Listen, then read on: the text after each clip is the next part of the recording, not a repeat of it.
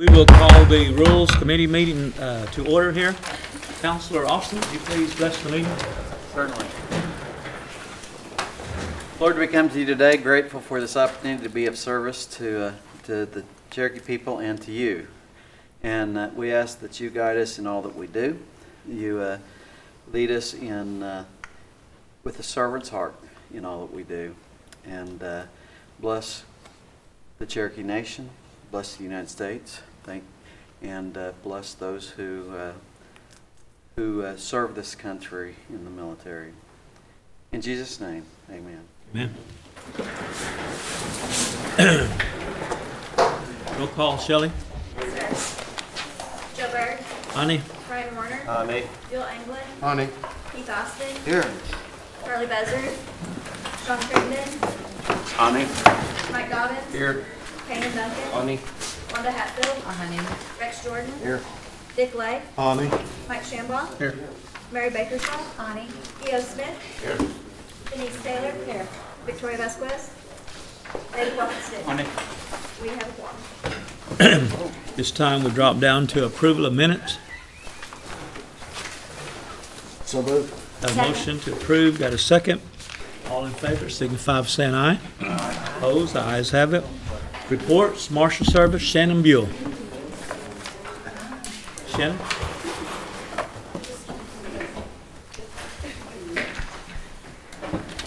Good afternoon. Good Afternoon. Other than the report, I do have to uh, say that uh, HR has finished our evaluation on the marshal's pay, going to compliance with the BIA.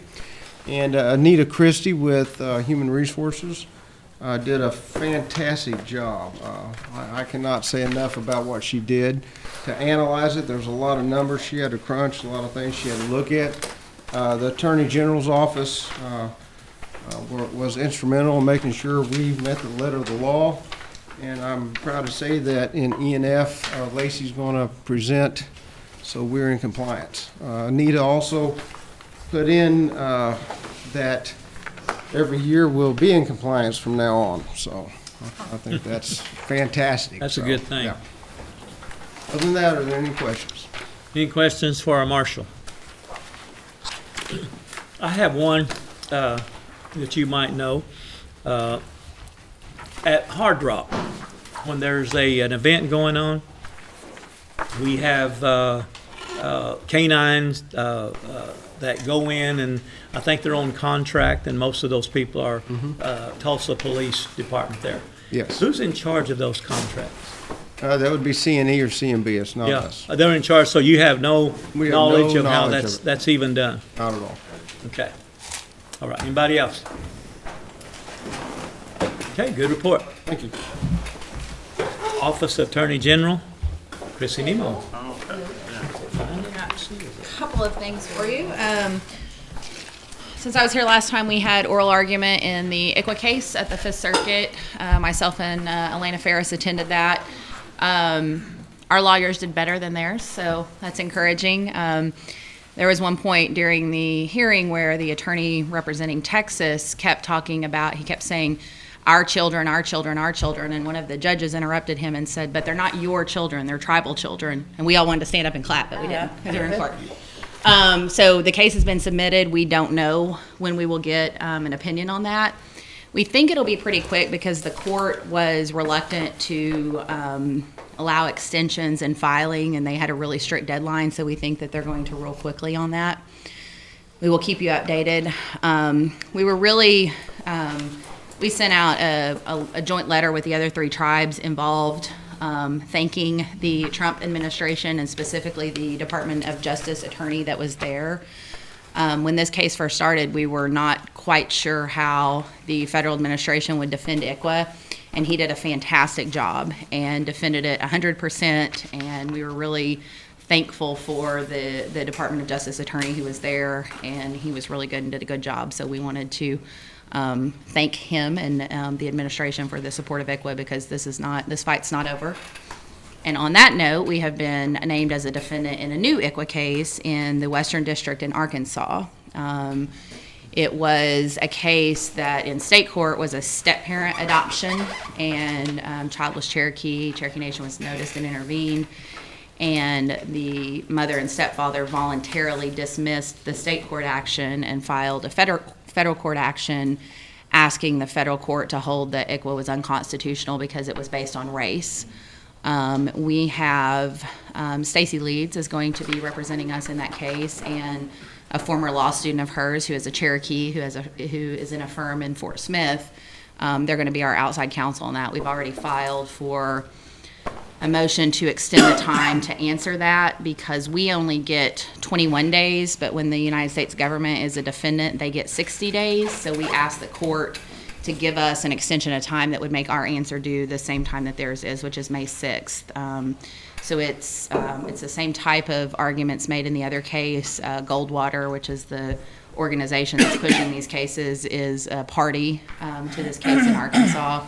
Um, this is a different circuit than the Fifth Circuit, so we think that, you know, they may not necessarily want to win both of these cases. They may want to win one and lose one because in the likelihood that the Supreme Court hears it goes up. So um, we're going to continue to, to see these cases and we're going to continue to defend them. So I, I will keep you all updated when we get decisions and new cases.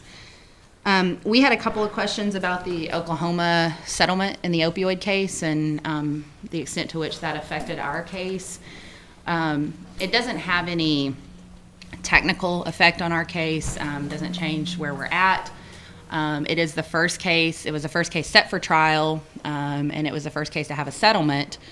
That case is not done because uh, the Oklahoma Attorney General, just like we did, named multiple defendants, and that settlement was only with one of them. So they're still set to go to trial um, next month against the other defendants.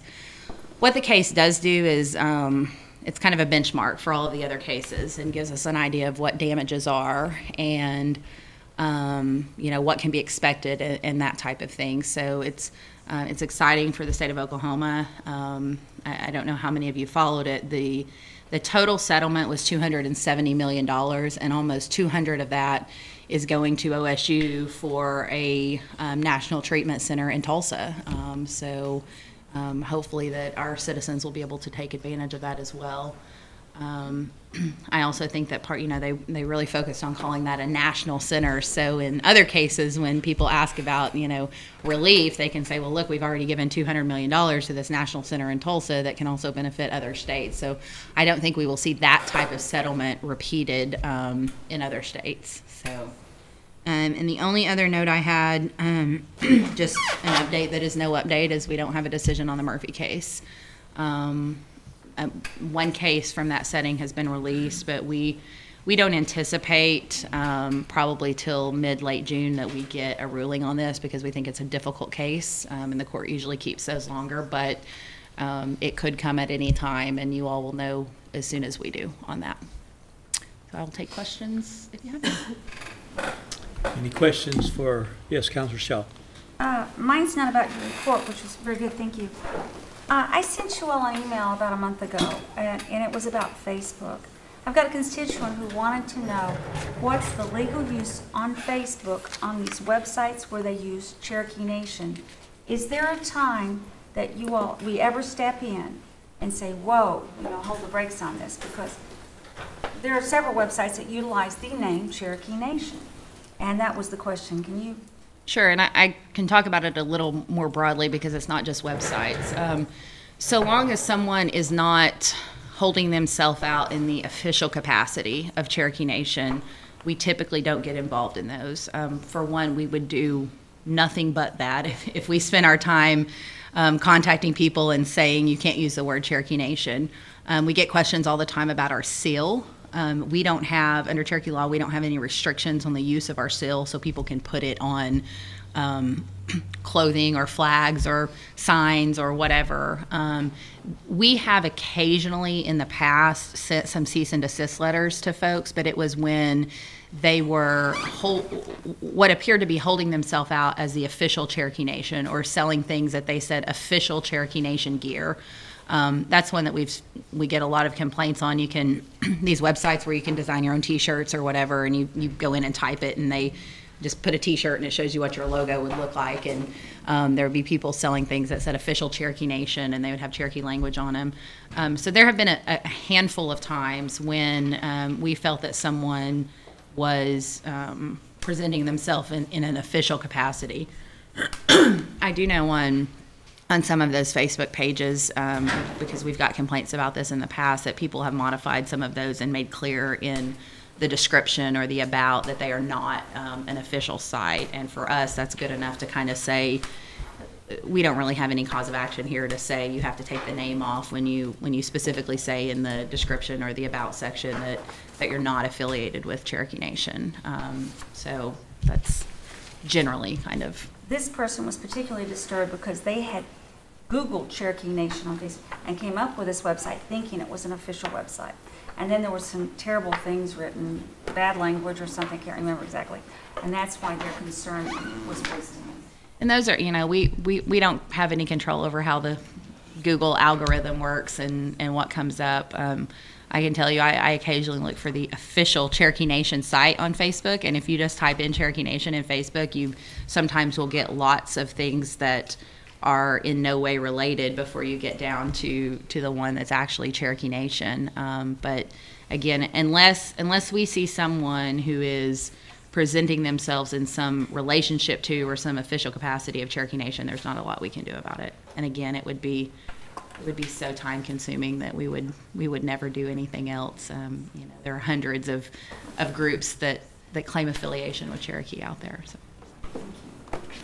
Anybody else? Did you have a question? Yeah, Counselor Critton? Christie, had you had a chance to get with David on maybe seeing what we may be able to do about the, the gardens and the the wood? I, I haven't had any follow up with him on that. I I can't speak for him on to whether or not he's working with it, but I haven't I haven't talked to him further on it.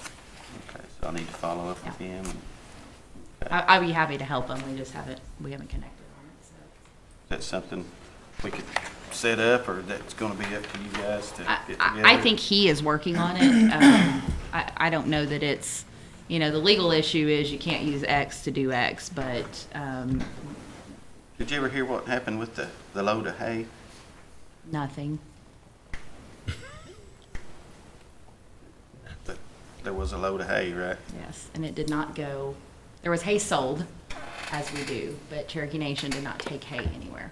So Kinda like- can't, you can't believe everything you see on Facebook, imagine that. No, no, I didn't get that, I didn't get that from Facebook. I got it from someone who, who works in natural resources. And the day after, we were talking about, you know, the wood, you can't do X for X. Uh, they called me and said there was a load of hay getting ready to go to Lawrence, Kansas. And it, it didn't, that's what I can tell you. Um, we do sell hay, and, uh, Mr. Enlow, if he's here, knows, knows more about this, and we have a process, but it did not happen, I, I can tell you that. Oh, uh, We did not take hay to Lawrence, Kansas. We did not. Yeah. Uh, Now, oh, yeah, go ahead. So, um, we did sell, uh, twelve bales to an individual Cherokee citizen, just like we've done with several other Cherokee citizens, uh, throughout the last several years. Um, Let me just go slow here now, Todd. Mhm. I'm a slow soaker. All right, we sold hay mhm. that was, that was cut on, I guess, Cherokee Nation property. Just like we, we charge to have the gardens tilled, right? Same department. In the past, they've charged to let somebody get the gardens tilled. I just want to make sure we're on the same. It's not the same, because we're not going out and doing, it's, it's our hay. It's our- it's our- On our property, we our cut hay it, and we our bale land. it, Yeah. and people can buy it from us. We have a policy for that, and it's something that's going on. Now, how have we got that hay to them in the past? Uh, individuals come pick it up. And that's From what we over. did, that's what we did in this particular instance as well. So they came and, they That came in- and got it. Yeah, that individual asked if we could deliver it to Now, Kansas, who cut it? um, um, the natural resources crew. Okay, Because it's our resources. It's our land that So they, they- they they cut it. harvested the hay from. they cut it Mhm. and sold it. Correct. Okay. Uh, We, and we were asked to see if we could facilitate transporting it to Kansas. We did some checking. What we did as the alternative for that individual is we found a taro vendor uh, that could transport the hay for them. We connected those two parties together, and he paid a taro vendor to transport the hay to Kansas for a family member. I don't, I don't think that was the original intent, but that's, that's good that Yeah, it that, well, it worked out that that, way. that's what we were asked to evaluate it by was- that individual, right, and right. we, we did consult, just like we did on these other things. We consulted with finance, we consulted with the Attorney General's office, and, uh, we were advised that we should not use Cherokee Nation Resources to do any of that, so we did not. Um, we were trying to explore to find out delivery of when they would like the hay. Now, this was after our last meeting, right? Correct. Okay. Yeah, so, Sounds uh, like, uh, we, we did all the, sounds like you did due diligence and exactly. kept it a level playing field, and I look forward to getting with Dave and, you know, whoever wants to be involved. And like I stated earlier, there's lots of big and little things, and I'm sure we can figure out a, Long- Long-term, I think I have a possible solution uh, for the garden tilling operation. Um, I've got a little bit more uh, research to do um, in looking at some of the other tribes and what they're currently doing. And then I think we also have a grant opportunity that's going to come available, and we have about a 45-day window to put an application together to solve this moving forward. I appreciate you. Thank you. Thank you. Good.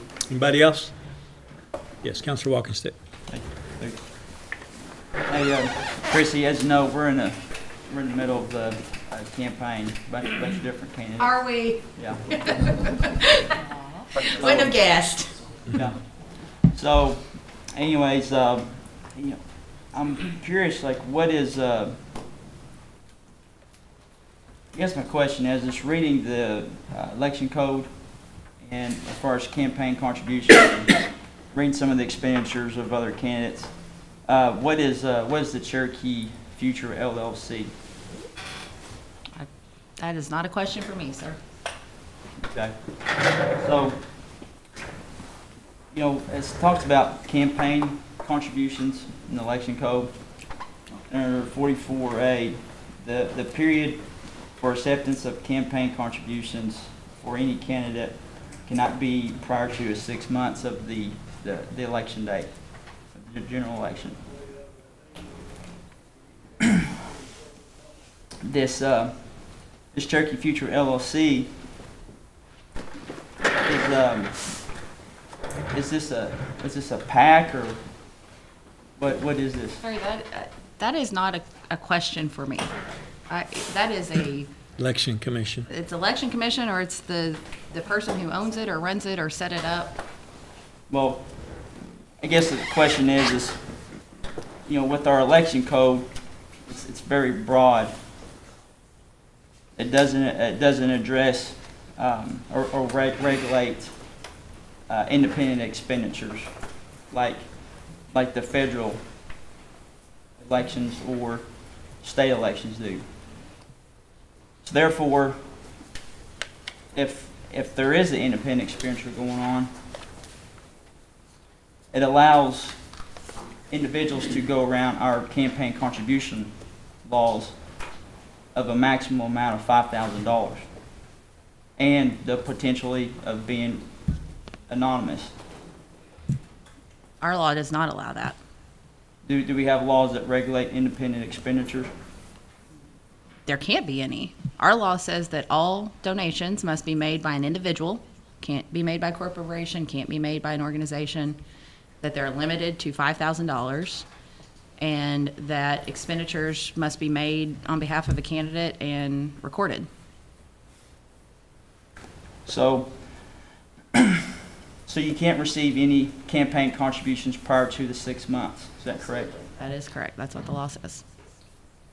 This um, Cherokee Future LLC was purchased prior to December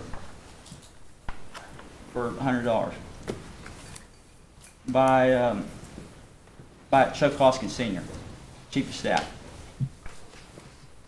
Is that a scenario, is that a fact? That's a fact. Okay. So, I guess my question is, Attorney General's opinion, would this be considered in an, a, uh, getting an opinion, would this be considered a campaign contribution?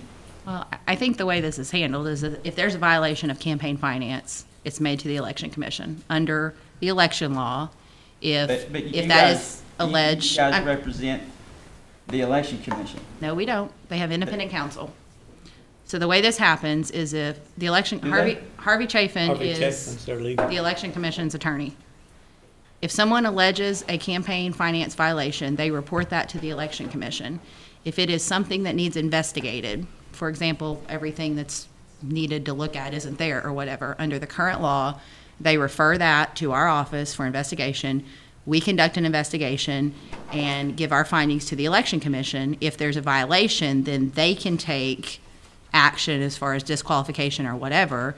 If it's a criminal violation, our office would file charges. But the, the, the way to do this is not a hypothetical or factual question to us in the form of an AG opinion about what something is or is not. It is a report to the election commission that there's an alleged campaign violation, and then there are steps in the law on how that's handled. Let me ask you this, as an uh, Assistant Attorney General.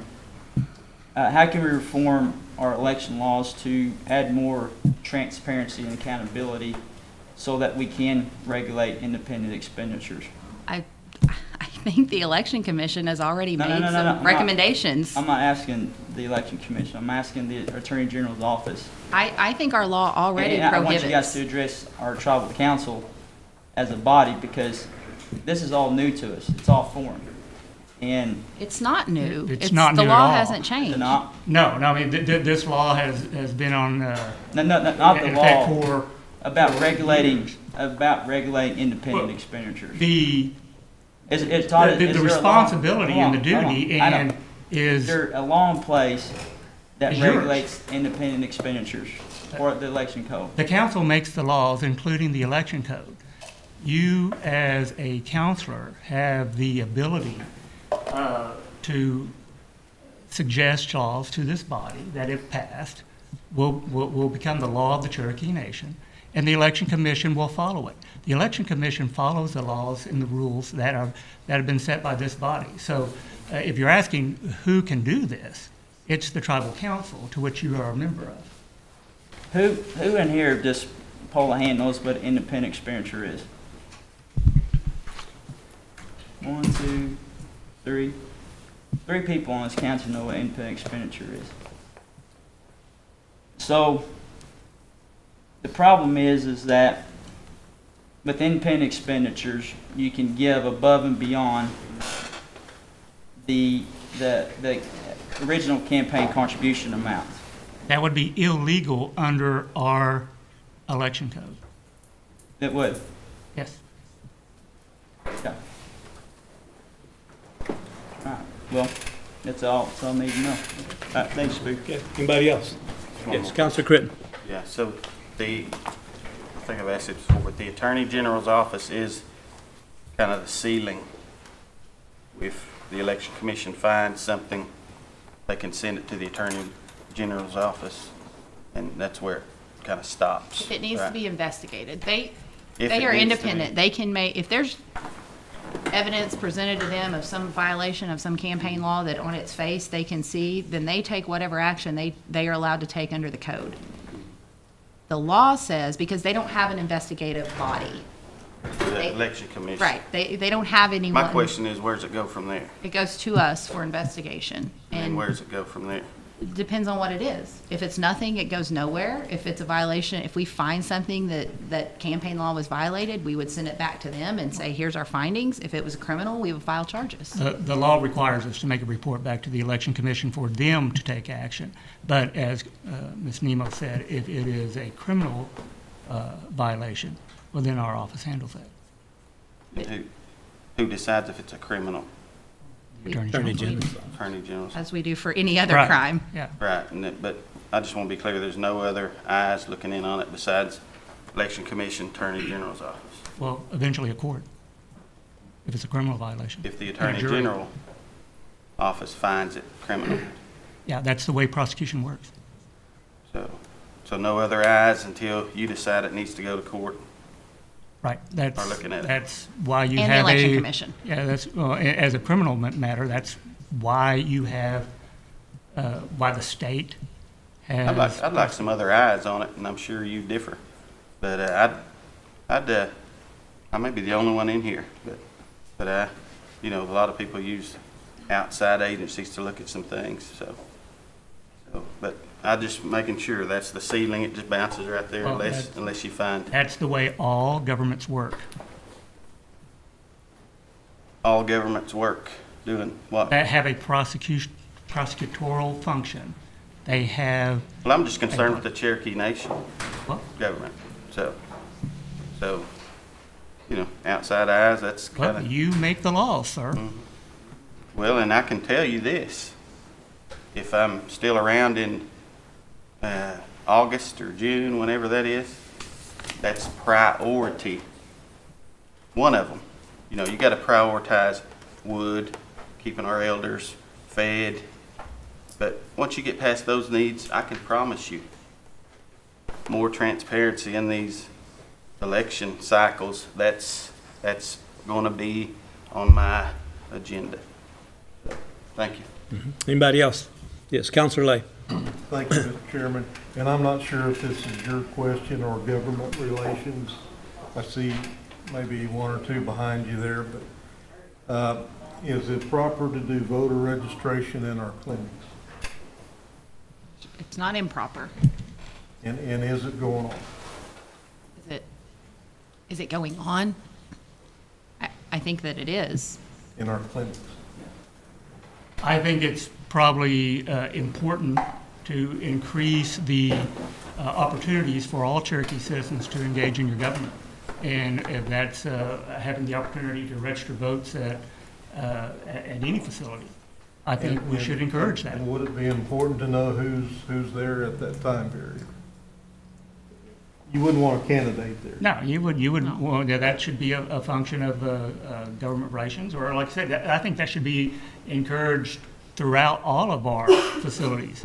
I- I- that, that, that is one of the most precious rights for a Cherokee citizen, is to Absolutely. engage in your government, and you But- do that by But here voting. again, my point, Todd, and listen, is that you wouldn't want uh, a candidate or that candidate's Friend. sponsors. Staff. There doing that process, would you? We, you know, uh, uh, anyone registering votes at our facility should be an employee of the Cherokee Nation. And should be uh, non-affiliated, let's say.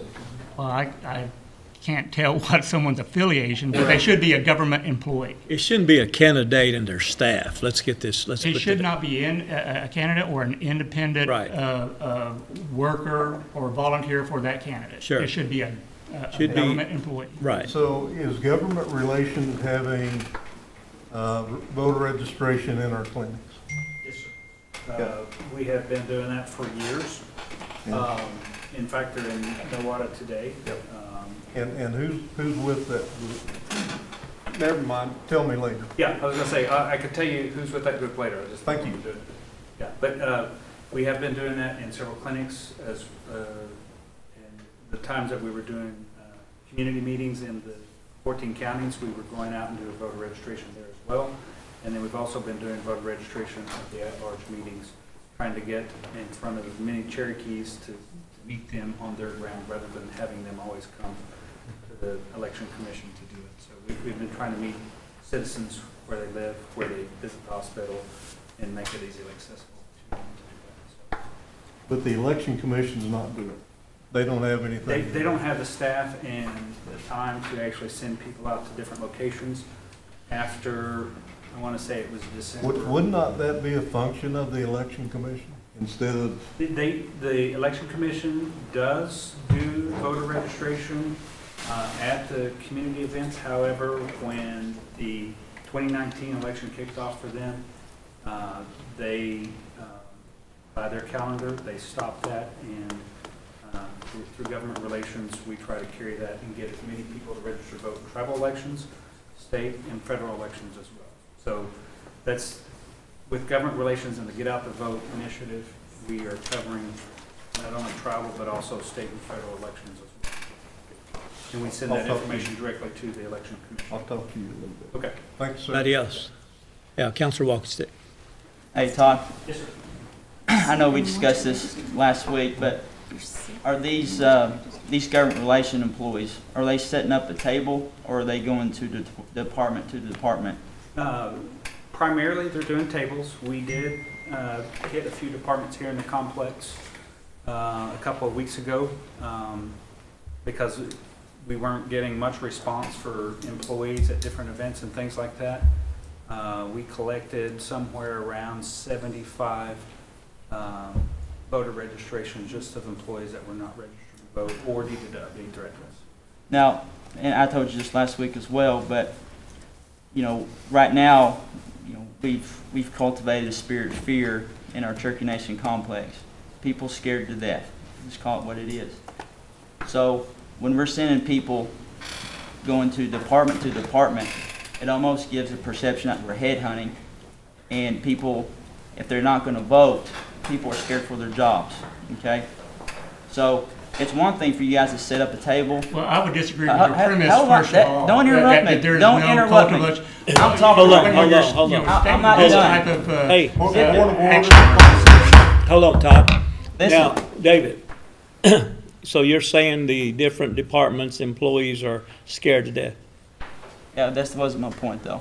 Okay, but that's what you said. That's correct. Well, let's just be factual when we make a comment All right. here. Yeah, so, Okay, hey, wait a minute. Uh, Jamie Hummingbird, your department, are they scared to death that people are, are registering them? Joe, Well, really say, no.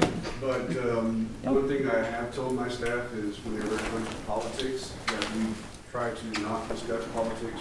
Absolutely, that's, that's what we try to do. okay. So, anyway, they're not scared to death from what I've seen, but yeah, that's, let's get our facts straight here when, because any word you say here, let, let's just, if you haven't done your research, like I said earlier, you have done your due diligence, let, let's not make false allegations. I- I've Now, got- Councilor I've got Watkins, some I'm gonna calls. give it I've back got to some you. calls. He's got the floor. Okay, I, I, hold on, I've got hold on, some hold on, calls hold on. from employees. No, he's got the Uh, floor. hold on, let me, let me finish here. So, okay, so it's election time, you know, there's fear, whatever. So, we're sending people to department to department, okay? And some of these staff with government relations work part-time with some of the candidates, okay? And, you know, what you just said, Todd, you, you said that that's, that that's illegal, or we're not gonna have that, or you say it's it's acceptable for a candidate, a, a volunteer or worker of a candidate to be on Cherokee Nation property, but they're on Cherokee time, going department to department, getting people registered to vote. Is that, is that a good, is that, is that allowable or not, not allowable? If they are performing their functions as a Cherokee employee, uh, that they will, they will do the, the task that, that, that is assigned to them. Now, what they do off hours, you know, if they want to support you, or Mr. Lay, or, or, or, or uh, Mr. Hoskin, that's up to them That mean, of, of, of what they of what they do, or you in your election. Uh, that, that that's up that's up to them. Uh, but uh, if uh, let's say a government relations worker, you know, their job is to help facilitate the participation of a Cherokee citizen in the governmental process. That's registering to vote. Is a, is, is probably the prime uh, uh, uh, avenue to do that. So yes, the, the, if, if a government relations uh, uh, employee is going from uh, door to door in this complex, asking, "Hey, are you registered to vote?" That's a good thing. No, no. And that's what they're doing. They're not, they're they're not browbeating I people. I see them in the halls, they're Hey, walking down, they're like, listen. hey, does anyone need voter You- you- registration? You know what should have happened? You guys should have set up in the break room, have a table up there, get out the vote, and send an email out to all employees. Say if you guys are wanting to vote, you guys come to the break room and get registered to vote. You guys going to department to department, headhunting, is not a good thing. Not And it- it it's in our- This is not it is- political. It, it is helping someone to, to make it as easy as possible for a person to the- the- the exercise their right to the vote. That's I- a good thing, Mr. the- Walking The Stick. people I That is talk a to- good thing. Okay, the, the, the people that I've talked to, the, Okay. the, the employees that I talked to said it was not a good thing, it was a scary thing. So Okay. it's not about what we think, it's about what. They the probably should get registered and vote then. Well. I mean, that's what the process is here. This is not, no, it, this is not what's happening. These are people walking around with voter registration forms, just like the state does. In, you can go anywhere. They have them at public events, and people are, it's literally a voter registration drive. We want Cherokees to vote. We But also so- want them to vote. Now, let me, let me ask a question here.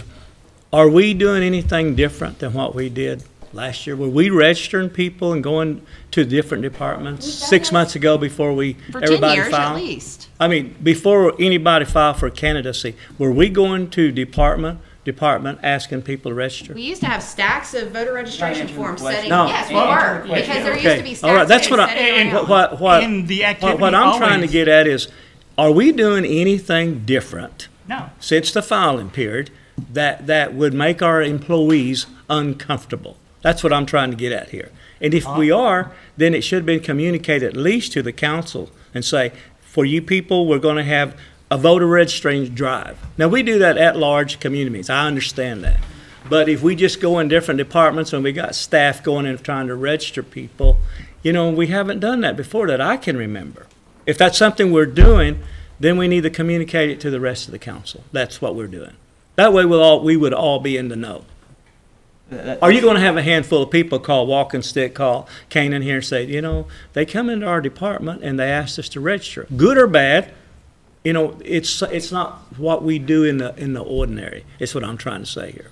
So anyway, uh, point, Walkingstick, you got any more questions? Let's move on. Okay, and my, my next point is, is like, you know, if someone on my campaign wants to get in government relations and help you guys out, you know, ju- just let me know, okay? All right, thank you. Thank you, Okay. Silas Speaker. Yes, Counselor Warner. Yes, sir. Thank you, Mr. Chair. Uh, Not to keep, you know, you say beat a dead horse, I always say, keep calling that same tale. Um, But we hear a lot of these things about, you know, fear and, and different things. My question is, as a councilman, I have the right to walk into any clinic, correct? Okay. Now, as a councilman and a candidate, I think that's uh that's kind of sticky grounds. Now, when you walk in there, you got to always remember where you're at. And uh, if you, I guess there's that fine line, you know, and I want to be respectful of every single individual that is in this campaign, has been in this and everything. And here we are, taking all this time away from our Cherokee people, even though this is one of our greatest rights that we're talking about. But David, when you walk into Redbird Clinic, are you there as a councilman? Are you there as a candidate? Councilman. Okay, all right, I, that's all I, you know, I'm not gonna say what I heard, I'm not, you know, or anything else. Okay, I'm gonna leave it at that, thank you. Okay, anybody else? Yeah, Counselor Shambaugh? Well, I, I listened to this and, um, I guess being involved in numerous elections in my past, um, I'm, have a little different point of view. Um, it is a right, you know, for people, and it's a, it's a big right for our Cherokee citizens to, to vote. But here's the deal about being registered to vote. I've run for office in several different things, and I promise you, during registrations, I go try to find people who have not been registered to vote. And I try to get them registered to vote. I go try to register as many people as I possibly can.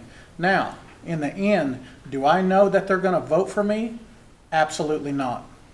So you can't say that by getting registrations, you know who they're gonna vote for. And you know, because in the end, being pressured or feeling you're pressured, that person's never in that voting booth when you go vote.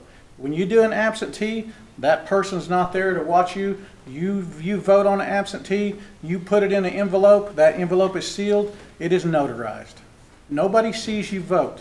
Nobody forces you to vote. That's it. I mean, I don't care if you're doing it correctly, you know, and, and you can say, and you can make the argument that, hey, this, you know, they're, they're doing this or doing that. And I've heard this several times in the last couple of months of, of allegations of this and allegations of that. But I'm telling you, I've sit here and I've seen one document presented at this, at this council that told what somebody did or didn't do. That's the only piece of evidence I've seen presented to this council.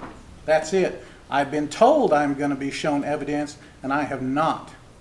So whenever I hear that the people are, people are scared for this or that reason, you know, I don't know if I buy that, because I can't, I can't make you do anything. Nobody can make you do anything. When you get in that voting booth, you do, you vote for who you want to, it's, it's private. So I don't know, I, I just don't buy all the conspiracy theories. I don't do that. Until I'm shown some evidence that this stuff is going on, I don't buy it. That's just my opinion, and I've sit here and listened to it, but nobody showed me anything but one document. And if you know what, and if, if I want to, in my job, what I do, I could take a day and I could go find out the, the whole truth of what's going on with this other deal that was brought up, and I think I'll probably do that. Because I am very well qualified to do that. Okay. But I'm saying, we don't need to, we don't need to, we gotta be careful when we make accusations without proper evidence. That's all I'm saying. That's all I got. Okay. Yes, Counselor? uh, my district's five, that's where Redbird's at, within thirty minutes, I had three calls, people wanting to know why I was not at the clinic when other people were down there walking around in the clinic. And I told them I wasn't aware of that, and they said, they told me that he was there with some other people. So you talk about intimidation, I'm not gonna get in on this, but I had three calls within thirty minutes, wanting to know why he was down there in my territory. That's it. For information, the, uh, the, the count, the complex voter registration, uh, project started in 2013. Okay. All right, well, as elected officials, you are, you're allowed to go in any clinic that, that you want. Your representative. Uh, I always feel like the Cherokee Nation uh, is not just one district. If I want to go visit tribal members, I've been to every district. I try to visit every, everybody. So, not as a candidate, as a council member. So if you're doing that, you have every right to do that. When it comes, when you've put your name on that piece of paper that says you're a candidate, just follow the rules. Very simple. If you're going to be a candidate, follow the rules and you can still visit anybody you want. We're going to wrap this up real quick because I, I don't want to stay on this. All I say, if you're a Cherokee Nation candidate, you better have tough skin because it doesn't get any better. Councilor Crittenden, let's cut it short. I think I'm done for now. Thank you. Okay. All right. Thank you, guys. Appreciate you. Yes, Gwen Terrapin. Make mine short and sweet. Um, We've got 21 total requests for 2019 so far. 18 of those were GRAs, and none of those are outstanding. And then we had three FOIA requests, and those are still outstanding at this time. And each of you should have gotten a copy of the 2019 request and everything. So, other than that, I don't have anything else. Any questions for Gwen? We appreciate what you do. Thank you. Tax Commission, Sharon Swepston. You can always depend on Sharon.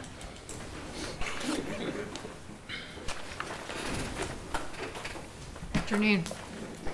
I believe you have my report. Uh, There's one change that I do need to make to it. It states that our next tax commission meeting was scheduled for March the 13th. That has been rescheduled for April the 24th. Uh, The commissioners canceled that meeting on my behalf uh, due to the death of my mom. So it's been rescheduled to April the 24th. Sorry to hear that. At least you'd been healed. Any questions for our Tax Commission lady? Good report. Gaming Commission, Jamie Hummingbird.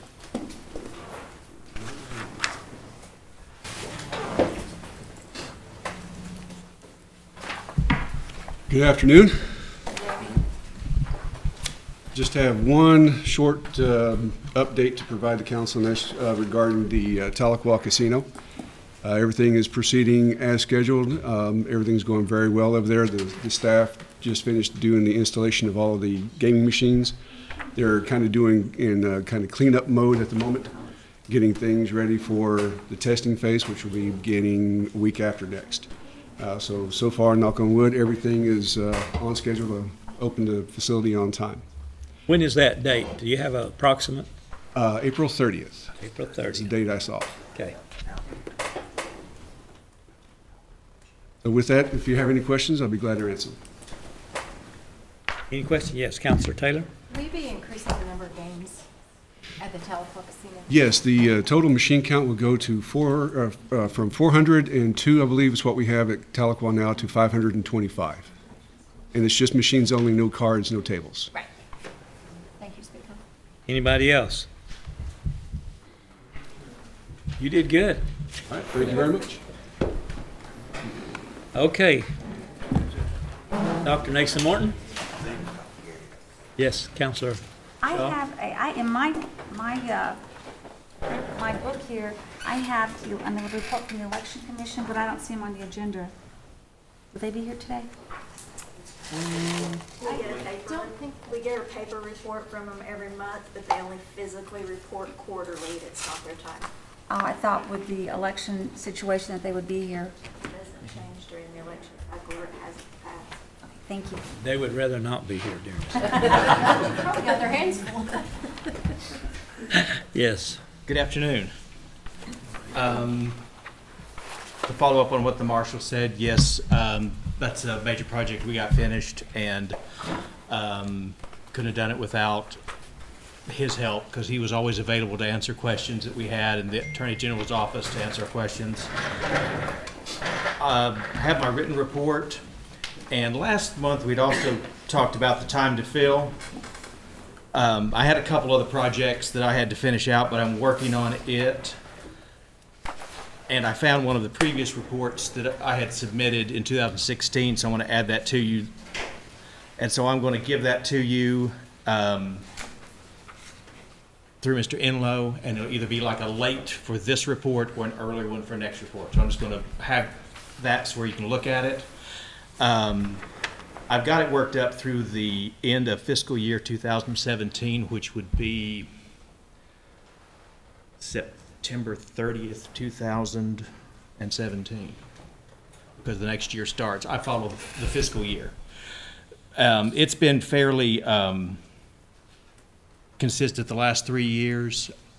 We'll see how 2018 is going. And I did tell my staff that um, I was offering the invitation to have you guys come visit and do a more in-depth discussion on um, each of their steps in the process. Because I have a separate group that does the background part, and I have a separate group that um, is the HR analyst who deals more with the department and gets it posted and does all the stuff um, in between. So I'm going to coordinate with um, you guys and Mr. Enlow and get available dates and um, like we can see who can come on which days, which ones you're more interested in as far as topics go. And if it, you have a topic other than those two, like you want to know about training too, let me know because those are three different people and we'll just go through the process. And as we go through the process, if you do me one favor, when you're thinking about the process on what you think, just a number in your head, from the beginning to the end, if you were just say, this is how long this should take, get a number in your head. And in fact, you guys could all anonymously write them down. And we can go through and talk about the expectations versus what we're currently able to do. And then we can just kind of find out the big picture, what we need to change, what probably can't change. And um, like, for example, on this entire process, being with HR, I own the entire process from beginning to end. Either my staff are doing it, or I have the pieces in place that allow the department to do what they need to do to get someone hired. Like I'm giving them a panel, or I have the system in place where the candidate applies. And within that entire structure, I also have a part where um, it's me and my staff doing it. We, from the, this point to this point, these are our days. And um, if you've been here uh, over the last two or three years, we've talked about how long posting takes, how long we um, attribute to how long the candidate, whether that is if they have to give notice or if there's another piece of paper we need from them in the process. We split out from the beginning. When we started, we had the day that you put your name in for a job. Say, hey, I like this job, this is the number, I want to apply, to the time an applicant actually sits in the chair. And we do this so we can figure out, um, because it was never really one problem. And each case is different on how many days each one takes. So we kind of look at each one We calculate each day and see if we can find any patterns to change. For example, over the last, go with last four years, on average, if a person had to give notice or um, the time it takes us between an offer to do their initial drug test and get them in to the job on the ne- next Monday, it takes about 13 days. The second part that we look at um, is posting. You know, we put it on the internet, we may do a paper, we may do a, um, some kind of posting in a specialty journal for um, certain professionals we need. On average, over the last three years, that's on average, 10 days. Can I ask quick question? Sure, are you? Yep, Nathan, while we're talking about it, so how long is usually when you post it on the internet? Is that what you were getting ready to say, ten days? Uh, yes, the, on the first posting, if everything, um, if I only have to post once, it will be no matter what day I post it. Because you you notice if you look at them, they look different each day. So we don't wait until like a Monday through a Friday. So when we have one ready, we stick it on a Wednesday. Those are five days, five business days. If there's a weekend in there, it's posting on the weekend. We can't do anything with it till we get back on Monday, but it's sitting there a certain amount of time. Five days, For one posting, that's what we normally. then you take it off. Sometimes you can ask for a longer posting, but um, on average, it's, Five days is pretty quick. Yeah, yes. yeah, that's pretty quick. I've had different ones apply and then wait and wait and wait and wait. But if you're putting it on there, average five days and taking them off, that's, that's pretty quick. My- And, and on this one, this was counted into the fact that maybe we didn't get someone on the first one. Um, and when we do an average, there's always one that goes higher than that, and there's one where it's like, hey, right at five, posted once, we got an applicant, we got it out. So on, That's where I was thinking. And um, I'm going to put the report in there because I do a lot more explanation of, of about what each group takes, what we count for each group. Like um, if I say posting took this much time, I tell you kind of what each one means. So it's like a four-page document. I've just found the old one, I built on it, and I put a couple of new charts on to supplement it. So you'll have plenty of time to run through. And if you have any questions ahead of time, give me a call. And that way, I meant to have this in earlier, I just had to stop and get another thing done that um, was no less important, just more time sensitive. Okay, do I have any questions? Counselor Wilkie, I just want to hear about the Cherokee Nation Marshals, uh, their, their pay increases. I think that's on the next, It's supposed to be this month. And- and they're sent to that may be HR. at ENF, I'm not sure. Yeah, supposed to happen. Okay, that's this afternoon. Is it, oh, so it's gonna happen this afternoon? I believe so. Okay, thank you. Thank you, Chair. Okay. Uh, Counselor Shaw, you have a question? Yes, I do.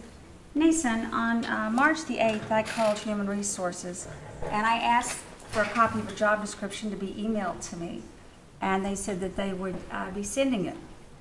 And I didn't hear anything until March the 12th, when you called me. And I explained to you that I had a constituent who asked for a copy of a job description, and uh, you said that I couldn't have it, that you wouldn't give it to me. And when I said why, you said because I don't want to. And I said, Nathan, oh no, word for word. I said, Nathan, I don't understand. And I said, why won't you give it to me? And you said, I don't want to. Could you please give me your reasoning on that? Why I didn't phrase it like that? You phrased it word for word like that. I have no problem with my hearing. We had a discussion, and I believe I initiated the call. You did? Okay. And we had kind of talked about it. And the portion that I left it with is you made a couple of good points, and I would look into it. But I have never released one before. But me, just because I haven't released one in the past by itself, is not a good enough reasoning. Does any of that sound familiar? No. Okay. I will, in my due diligence, make sure that any other time I speak with you, I will have someone else in the room. Oh, I And we'll think- just make sure there's no further disagreement or anything else. You know, that's a blatant lie on what you're saying, and I know that, and you do too. And I will be happy to pay for a lie detector test on both of us to verify the truth on this, because I thought it was entire, entirely disrespectful. You know, to withhold a duty description that contains no personal information is mind-boggling to me in your position. I can't believe this elected body here that represents Cherokee citizens cannot get a job description from our HR director. That's all I asked for. That's all I asked for. I didn't ask for anything bad, I asked for just one simple job description. But you did not want to. I said I've never released one before. Mm-hmm. And there's a, an easy way to fix this. File a FOIA or a GRA if I'm not moving fast enough, because that's the actual law. This is a job description, Nancy. I It's not understand. open heart surgery. A simple job description. Now, is that, is that a request that, that you, that has taken place in the That's past? That's how, if you want a re- request for a document, um, especially in this case when you're getting one for a constituent, um, best case for you, that's a FOIA. Okay, let's say we didn't do it for you. I I guess my, my, my question was, have you released a job description before? I can find no instance where I've released a job description. Okay. And what I have done in the meantime is looked at what has been listed in the, like when I post something, you've all seen the posting where it gives, here's your recommendations, here's the educational requirement stuff. That is, are some of the things that are actually on a job description. So Okay. that's why I was looking into on the reason to, um, like I say, the reason why I've never done one is not in itself a reason to continue not doing it. Okay, So actually, that's a project I'm working on. okay. All right, Counselor Shaw, anything else? No, but I, again, my offer, I will be happy to pay for that lie detector test and have you take it, and I'll take it too, and share the results with council. Because what you're saying is dishonest. And I, you know what, I can take about anything but a liar. I can have somebody disagree with me, and I can respect that. But to lie, I don't deal well. I don't deal well with it. And I was very, I was so disappointed in that comment. I don't want to. Does that sound like me? Okay. All right. Oh, um, Anything else? You want to continue, or are we going to wrap this up? Well, we're a couple steps past the Constitution already. We'll All right. leave it at that and let We the stay there. I got some. Yes, Counselor Walkingstick. Just get her the job description, this is easy, it's as simple as that. Just, I'm sorry? just get the job description, just print it off, and just send it to her. Simple. Done deal. That- that- Um, That's a quick solution. The FOIA request procedure, I think, um, is For for a online, job so description, that- please that- follow that- it. That's online? Isn't it? I haven't done for you lately. Okay. Speaker, that's all I have. Okay. All right, it's online. That- That's all I have. Okay. All And right. I think there's also another statute talks about GRA. Okay. All right. One, Oh, and another interesting topic. If I accidentally give something out that I shouldn't have, last time I looked, I have to check, I haven't looked in a while, but it was, actually could get me fired and sometimes charged with a crime. So I'm a little cautious. Okay. Yes, Counselor Crittenden. I just want to be clear, so if I have a constituent wondering about a certain job that may have passed, but hey, Shawn, um, if they, it comes up again, what, what is that job description? Do I need to go to FOIA or do I need to come to you? If you have a constituent, excuse me, if you have someone who wants a document, the proper procedure for them to do is file a FOIA. And if it's a public record, Wow, that seems confusing. That seems like it could, this thing we're trying to shorten, getting people jobs. If I have to FOIA what they may be, you know, applying for, I don't see how that, that would help. I may not have understood your question. If you go on the, If I get a constituent saying, Shawn, if I apply for maintenance custodial work at Cherokee Nation Complex, yes, what would my job description be? Can I come to you? they would get one, a majority of it, or the essential portions of the job will be contained in the advertisement. Say, If hey, it's I not- want to But do. if it's not advertised, just, hey, Shawn, well, I seen oh so-and-so, he works for Cherokee Nation, comes out and does X. What does that job entail? It looks like I could come to someone without FOIAing it to get, to be able to explain to the constituent what That that, I'm not actually advertising. maybe. Maybe you are. If it's advertising, um, I would normally point them or you, say, hey, it's online. Or if it's posted and they Attorney General's office, can, is that against the law for him to, um, if we would ask for a job description, is that a law somewhere stating that he can't send it? I know the answer to that, I can link that, but typically when you request documents from a department, we've, we've gone around. Document or, Document. document or just information? Hey, hey, Nathan, you come present to us all the time, uh, what, what's the job description here? Are they gonna be sweeping the floors or laying brick? You know, is, is it really a Well, that's- document that's different than- retrieving than a thing? Four-page job description, though. but the, the typical process when you all want documents, if it's, if you want to share it and put it online and whatever, is a FOIA, because that's all public information. If it's confidential and it's GRA and you want to keep it, you have to keep it. And this is a process we've talked about before, and it's more of a process in the sense of if, if you could call any department anytime you wanted and get any document that you wanted, departments would be doing nothing but responding to tribal council requests for information. Well, When I call, it's from a constituent that we all work for. When I call and I'm trying to get answers, I assume like you were trying to do.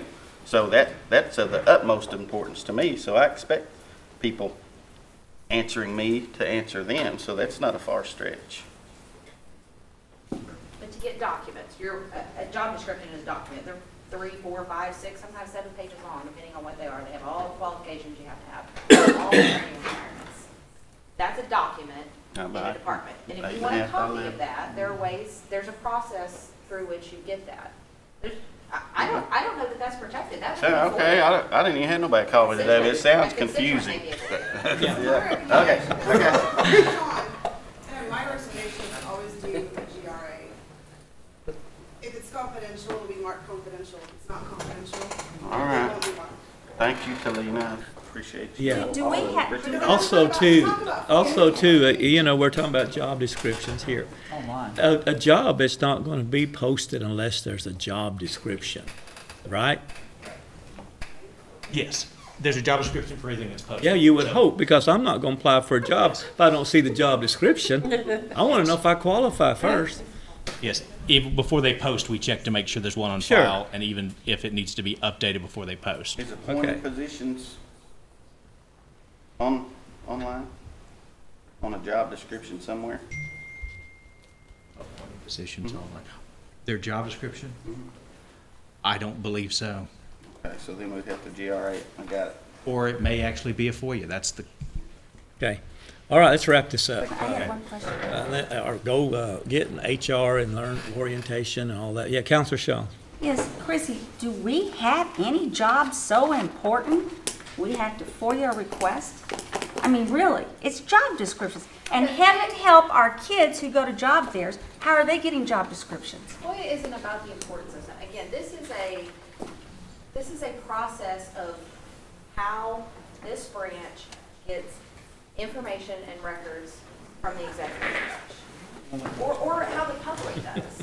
Again, it's, FOIA is public information. Job description.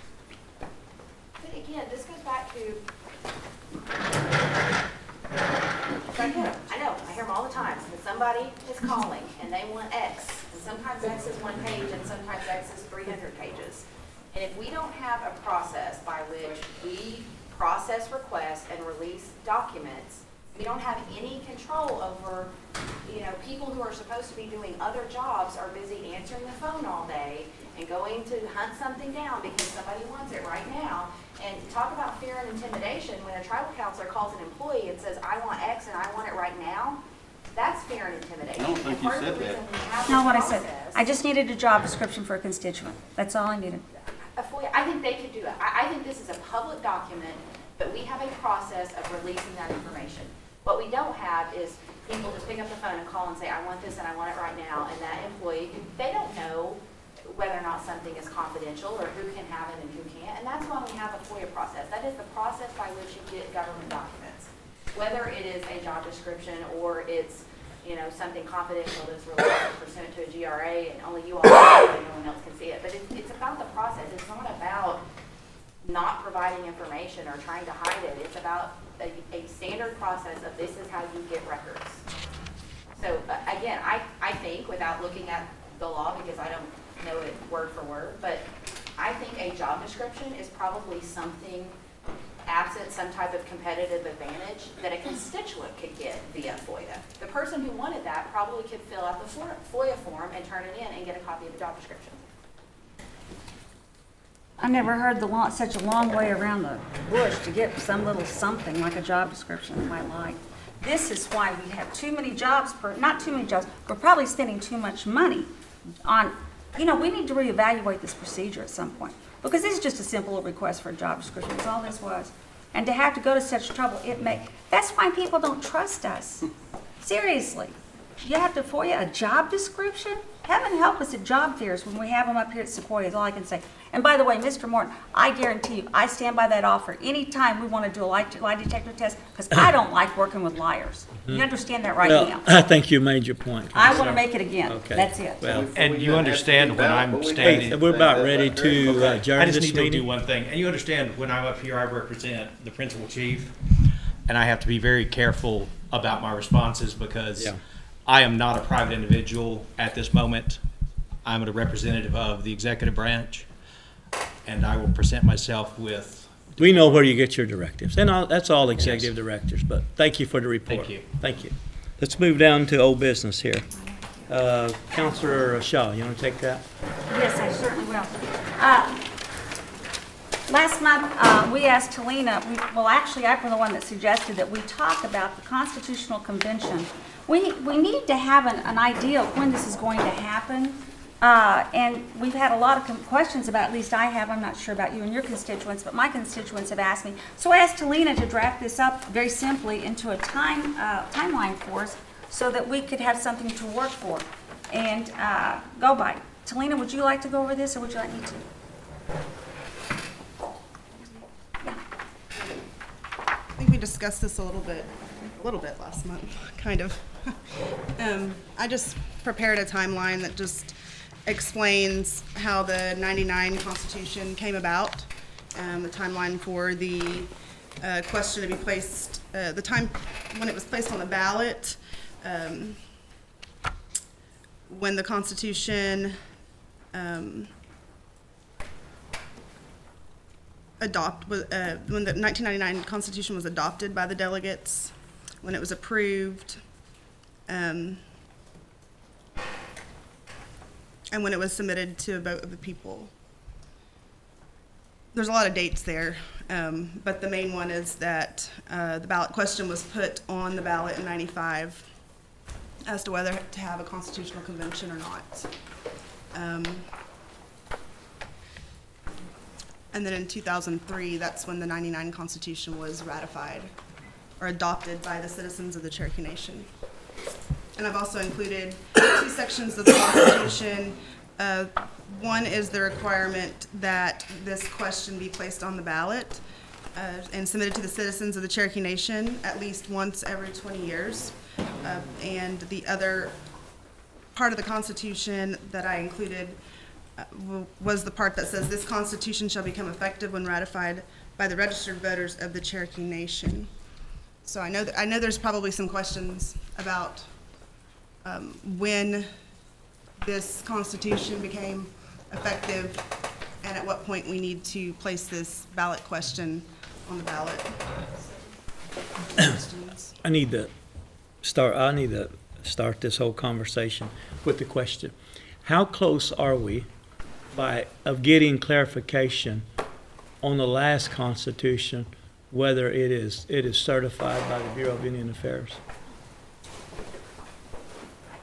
Provide a little Sure, because we're, we're, we're looking at and discussing a new constitution. We still have question marks on our old constitution. All right, so this is a long history, right? I'm not going to go through all of it, but um, uh, at our old constitution said it has to pr- be approved by the BIA. We removed that provision by a vote of the people. Okay. We then asked the BIA to, and I say we, this is Cherokee Nation, this goes back um, across multiple administrations, and um, Cherokee Nation asked the BIA to approve the Constitution that removed the requirement to approve the Constitution, which that in of itself was a question, should we be asking them to approve once we removed it? Um, the issue with the Freedmen cases was a big holdup in that, um, because we were, um, I think, very close at some point to getting BIA approval of the ninety-nine slash two thousand and three Constitution that removed the provision that said the BIA had to approve it, but because of elections that were upcoming and court cases that were going on with the um, Freedmen Amendment, they, um, they refused to approve that. The Cherokee Nation then withdrew its request for approval of the Constitution by the BIA. Um, there is, there are ongoing efforts to get the BIA to recognize that our current Constitution that does not require the BIA approval is the official approval, is the official Constitution of the Cherokee Nation. Okay. But I can tell you, and, you know, this question is asked to a lot of people who have sat in this seat for con- uh, people who are being appointed to the bench and uh, other various positions, but it is, it is the legal position of our office that the 1999, I- I don't know why we call it that. That's when we had the convention, right? We didn't vote on that until 2003, so we should be calling it the 2003 Constitution. Right. But it is our position that the 2003 Constitution is the legal binding governing document of the Cherokee Nation. It is a constitution that you all were elected under. It is a constitution that our office is created under. Um, we have as, um, you know, technically only since 2006 have we acted as that, our constitution. And that is, um, we went one step further than Talina's analysis and said the proposal was, the, the constitution was, the Constitutional Convention was called in 1999. That's when we had the last one. In 2003, we voted on the Constitution. There was some questions and court cases about the validity of and the effect of that Constitution. In 2006, our Supreme Court ruled and said that the 2003 Constitution superseded the 1975 Constitution and was the governing document. So there's, and I don't know that this is a disagreement. I think that, and, and just a little aside, you can have it anytime you want, right? It, it only has to be at least once every 20 years.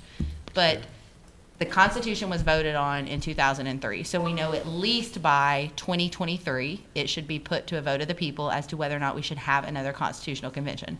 There is a valid argument that because our court didn't recognize that as our Constitution until 2006, that it adds another three-year period in which to do that. Okay. But we, but 2023 would be 20 years from the time that the Cherokee people voted on what we all refer to as the 1999 Constitution. I say all that to say that I do not think that we are out of, I don't think we are in violation of the Constitution in that we have not yet called a constitutional convention. And there is um, ongoing work with the federal government to get them to acknowledge that the 99 2003 document is the governing document of the Cherokee Nation. Okay. I have one Thank you for that timeline. That, that's very helpful. I have one Yes, speaker. One question. yes, go ahead. Uh, when was the provision removed from our Constitution for the uh, uh, Bureau to not approve our constitutions? That was done 2003. The Be amendment. 03, the wasn't amend- it? Yeah. The amendment Oh, that. three? took And it that was provision voted out. on, it was, it was not, I, I think that was a separate vote, right? There was It a, was. It because there was- was like a May, June, there was like a May vote to remove that. The general election is when the amendment was voted on. And so once, and it was dependent upon whether that was adopted by the citizens. So when the citizens adopted that amendment to the Constitution, then they, during the special election, no, the runoff election that they had in July, I think it would have been July of that year, is when the Constitution as a whole was put to the vote. So we had an amendment to the What- what 99 Constitution What, before. what year was that, Talina? Was it 2003. 2003? Oh, three. 2003. So 20 years, so from, from there. Then the court though didn't, didn't approve it till '06. Right. So So, that's, so that's there's, the, there's an argument that there's a- another three years added, but, the, the vote of the current Constitution that says we must do it every 20 years occurred in 2003. So if you add 20 years to that, you're 2023. So it has to occur prior to, uh, prior to 2023, unless the three years that it took the court to recognize, our court to recognize it extends that. Okay. But we're not out of compliance. The 95 was, or 99 was not the date. Yeah. I didn't think we were out of compliance. I- Is Yeah. it the BIA that has the final say or the tribe? We actually do, it, we're kind of, uh, in this dilemma. We're asking the BIA to approve something that we don't want them to be part of anymore. We're asking them, I, I think the better language is that we are asking them to recognize that by, that we removed that provision and that our current document is valid and legal and binding. That's all I have. Okay, yes, Counselor Shaw. Okay, I want to reiterate that the Cherokee Nation Constitution, Article 23, says this Constitution will become effective when ratified by our registered voters. It Says nothing about our Supreme Court. Nothing. So you add 20 years to the 2003, so the Constitutional Convention should be on our next uh, election in uh, 2023. Do you agree with that?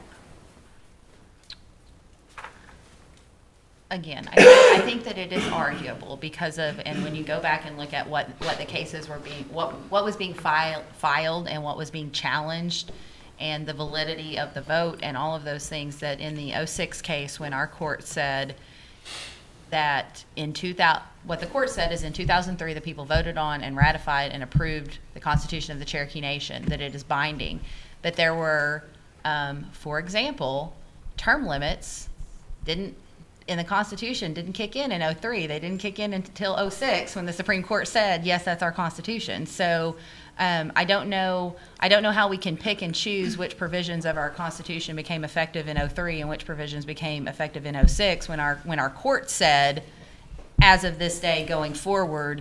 And that's when they laid out the staggering of terms and the changing of the names of the justices and all of that. So the even though we voted in 2003, what we um, the changes that were under the Constitution didn't take effect until 2006. It's when we changed the name of the courts. It's when we they entered staggered term limits. We changed the ju- Judicial Appeals Tribunal to the Supreme Court. All of those coincided with our court saying, yes, this is a valid document. So for some purposes, we said it, it took effect in '03, and for other purposes, we evidently said it didn't take effect till '06. But we're talking about three years between '03 and '06, neither, neither of which are here yet, right? So we are not, we are not in violation of the Constitution by not currently having a constitutional convention. You know, I was thinking about this the other day, about the fact that we will have another big election in uh, four more years, which would be uh, 2023. If we do it two years later, I'm concerned that there won't be mi- as many citizens. And I'm not, just, just to be sure, I'm not advocating it. It Right. is up to this body to decide when it goes to the people. And the vote of the people is whether or not they want to have a constitutional convention. They may say no. They may say, we like the Constitution exactly how it is, and we don't think we need to open it back up and be involved in all the Possible. political stuff. But what, what it says is this body submits to the people at least once every 20 years for a vote whether or not they want to have one. And I'm not saying that it shouldn't be done in, in 2020. Just, just to be clear, I'm not saying that you, you shouldn't do it, you know, you do it next year. You do, it well, you can't do it next month because it's feasibly impossible, but it can be when this body chooses for it to be. Chrissi, how do you propose, Talina, you too, how do you propose we resolve this date line? Uh, I mean, you know, to consider. I I don't know if we have to. I think if, if the majority of this body believes that 2023 is the date, then prior to July, whatever the last election was, 2023, that this group should vote for it to be put to a vote of the people. I just think that there is, if for whatever reason it were to go past that date and someone said, oh, we're violating the Constitution, I think there's a strong legal argument that we're not because that didn't become legally effective until 2006. But I'm not advocating for that position. I'm just saying there is, there is, we had things happen after the vote that called into question the effective date of the Constitution. And it spent time in three years in our Supreme Court system. Talina, are you in agreement with what she's saying? I think that there is a valid argument for that. Um, It depends on the way you look at it. I can, I can see both sides. Um, but this body can decide to, uh, pass a resolution and put it on, um, Three. what would be this, this election, but the next election we have, can place that resolution, um, or place that question on the ballot and let the people decide. Then you don't have, you don't have that legal issue. I mean, it can be placed on the ballot at any point by council. Um, so, Sounds like we could place it on twenty-three or twenty, or twenty-six, either one. I mean, I just, I just Do want. next year, or the year after that. I mean, that's, you, have you to could be- do it before, you just Sure. can't. The question is, there's a, there's a violation of the Constitution if it is not put to a vote of the people every twenty years.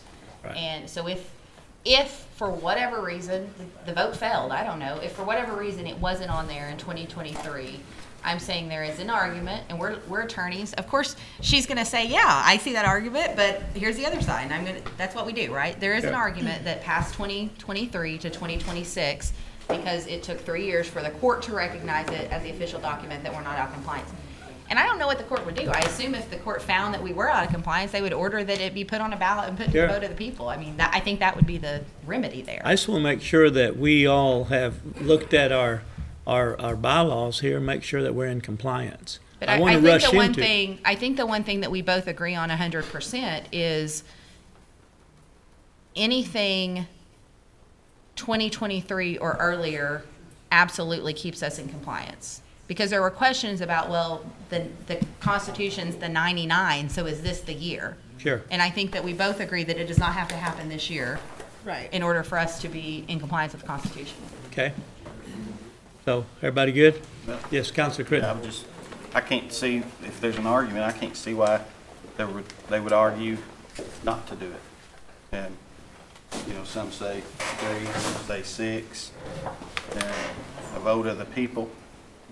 And do they want to dig into this? Um, I don't know what the, what the holdup is, really. And if they say no, they say no. It's not So- they, it's you. It's this, these seventeen people are the ones who decide when it goes on the ballot. So just somebody has to lay it out there and say, we're gonna, does it have to be an election year? a resolution, it can be No. a general or special election. So I think we need to get a work group up and figure out if we want to do it and lay it out there. My next your- question is what, what jobs were created under the Constitution that we follow?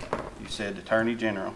What else? Marshal, um, the. Secretary of, uh, of Ag, I mean, written Natural natural resources. Resources, the, all of the justices, it used to be the Judicial Appeals Tribunal, and we didn't have a district court and a Supreme Court, we had one court. And the nine-nine changed it to a district court and Supreme Court, and changed them district court judges and Supreme Court justices from judicial appeals tribunals. They were mainly for employment termination appeals. They're called uh, Tribunal Appeals Court, really, basically what they were. So, what was that again? The- AG, Marshal, Secretary of State, added district court judges, changed the JAT to the Supreme Court. Um, There, there are other changes than that, um, but that, I think those are the only, So if we did a constitutional convention, that would be up for question too, those positions? I mean, whether or not we have three branches of government is up for a question. If we do a constitutional convention, we Probably can- not. We can literally. Those cabinet level, I would say, stay in place. You don't want to go backward. Well, I you wasn't saying I don't, want to do anything, I'm just que- wondering if, if, if that Anything, affect. anything that is in the Constitution can be changed in a constitutional convention. Right. When The was- number of when was those counselors, positions? It was before ninety-nine or two thousand three, right? That those positions didn't exist? Right, so before the, before the ninety-nine Constitution, we should really start calling it the two thousand and three. We should put that in our lexicon. But That those bef- positions did not Right. exist? Secretary of State, Attorney General's office? And I, I can't remember, um, I, there, w- I believe treasurer was in there. There's actually on the Cherokee Nation website. It was if you go- Secretary Treasurer. Secretary It wasn't Treasurer was just one. Secretary. If you go to the Constitutional Convention tab, there is a comparison of the 1975 and the 1999 Constitution, and it shows you everything that was changed in the 99 Constitution in red, and what the differences were. So, Talina, you might uh, dig that up for us and share what, what changes that were made for, uh, would that help, council? well, just the Attorney General's office, so you're saying don't have a really a preference when we do it? No. All right, thank Yeah, you. would, would you do that, Talina? It's what Yeah, I can changes s- that were made? Yeah, I have, I have it, I know where it's at, I'll send, Okay. I'll send it, and it's, Yes. it's really, Counselor Wong. How do you add a uh, cabinet level position? Do you have to do a constitutional referendum if you want to add a cabinet position to the Constitution? The Constitution actually says that the chief may add other cabinet positions as approved by council, I believe. Yes, It's as in- needed, at- And I think it's approved. yeah. Gotcha. Like, we need a Secretary of Education in the worst way. And Secretary of Health. Yeah. That's a priority of ours. We've always said education is number one. We don't have Secretary of Education. We've gone all the way around it. Said, but where education is priority. Yes, Counselor Shaw, let's wrap this up. We gotta get, I'd like to take care of propose business. that we form a task force to study uh, when the date will be that we post a constitutional convention on the next ballot. Okay, Thanks. I'll be on, second. I'll be on it too. okay. Got a motion and a second to establish a, a work group? Okay. Submit names to, uh, to Lena or Shelley and let's see what we can come up with. Probably need no more than five, right? That good? That'd be good. Okay. All right. Thank you. All right, let's move on to uh, new business. Uh, Counselor Shambaugh, you have that one. This is a resolution expressly agreeing to choice of law and venue and authorizing a limited waiver of sovereign immunity of the Cherokee Nation in connection with the software agreement with Municipal Accounting Systems Incorporated. Put that in the form of a motion. Second. Motion and a second. Any discussions? Yes, Counselor Walkingstick. What's, uh, uh, Counselor, what, what is the, what is this you're proposing? What, what company and what's its purpose? You didn't read the proposal? Uh, What is it? Well, I'll let Gwen talk about it. Okay. It's This not is when, the- but What? Municipal Oh, Jennifer accounting. Pigeon, I'm sorry. Municipal accounting is our software system for the charter school. The OCAS. OCAS reporting to Okay. the state. Gotcha. This will be our fourth year to request this. Gotcha. And so, since with the, uh, with the immersion school, uh, pretty much staying with the, the charter status, we still gotta keep the OCAS going so we can keep up with the Oklahoma accounting system, correct? Yes, correct. And Now, is this a, this is a one or three-year agreement? We're gonna do one year at a time. One year at a time? Gotcha. All right, thanks, Speaker. Okay. Anybody else? I just have Yes, a Counselor question, Taylor? just clarification. So, uh, this is nothing any different than, than we've done every year at this time. It's just when our agreement or contract or whatever we have with OCAS comes up, you come back to us. Yes, every school year. All right. And how much is that amount? Thirty-five hundred? That was the only thing that ever just, just went all over me, where you waive a, a, a sovereign, immunity there for thirty-five hundred. I just, I just never could figure that one out, but you guys are educated in that way. Counselor Lake? Thank you. You, you, you made my point. Thank you. All right, anybody else? I got a motion and a second. All in favor, signify by saying aye. Aye. All opposed, ayes have it. Abstain. Okay, one abstention here. Counselor Shambaugh, you got the next one.